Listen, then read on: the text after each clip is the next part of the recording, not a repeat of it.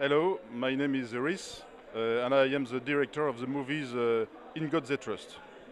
Uh, c'est un film à propos de, la foi, de la religion, et à propos de questions qui euh, euh, traversent la religion, l'intolérance, le blasphème, le doute. Donc euh, c'est un, un, documentaire où j'ai été à la rencontre de responsables religieux pour les interroger sur ces questions-là, qui sont des questions d'actualité euh, pour nous en France et peut-être, euh, j'espère, ailleurs dans le monde. Voilà.